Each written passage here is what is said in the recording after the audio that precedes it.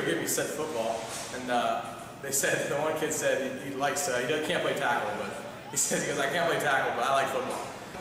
Well, I like moving around and I'm really good at passing to people, so I could do it behind the back to a guy that These kids really like uh, like like older kids coming in and helping them out. And I'm a senior in high school and they think it's cool. And one kid asked me, uh, "Is this a dream?" And I said, "No, it's it's real." but they're having a lot of fun. Uh, I